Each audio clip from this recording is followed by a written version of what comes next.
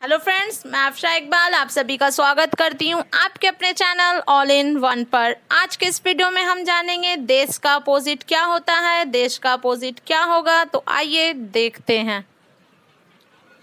देश का अपोजिट होगा विदेश। देश का अपोजिट होगा विदेश। विदेश का स्पेलिंग होता है V I D E S H विदेश। तो आज के इस वीडियो में इतना ही। फिर मिलते हैं एक नए वीडियो के साथ। तब तक के लिए वीडियो को लाइक करें, चैनल को सब्सक्राइब करें, बेल आइकन को प्रेस करना ना भूलें। Thank you.